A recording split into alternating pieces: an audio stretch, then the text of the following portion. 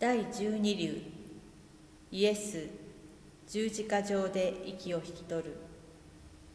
主イエス・キリストあなたは尊い十字架と栄えある復活によって世界を救ってくださいました。私たちはあなたを礼拝し賛美します。昼の12時から暗闇が全地を覆い3時ごろにイエスは大声で「我が神我が神なぜ私をお見捨てになったのですか?」と叫ばれました。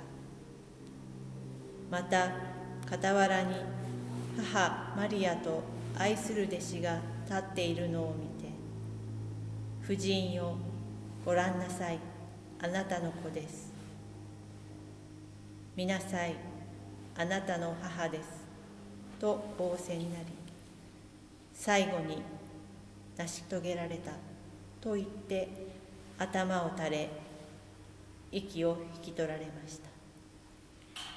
主イエス・キリストあなたは十字架上で御父の望みを全うされました。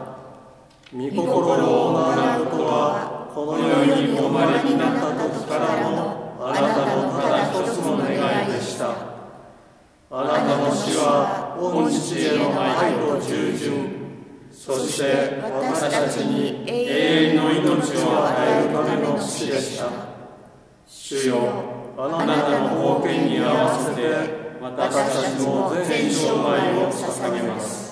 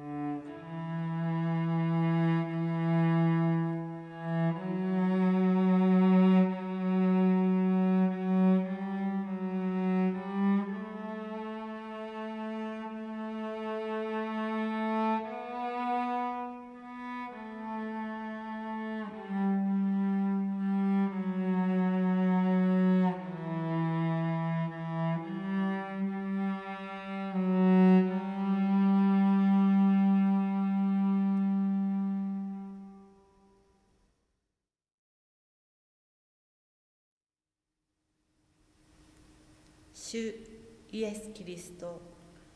信仰の弱い私たちを助けてください。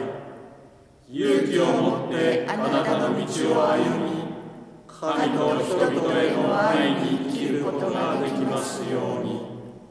アーメン。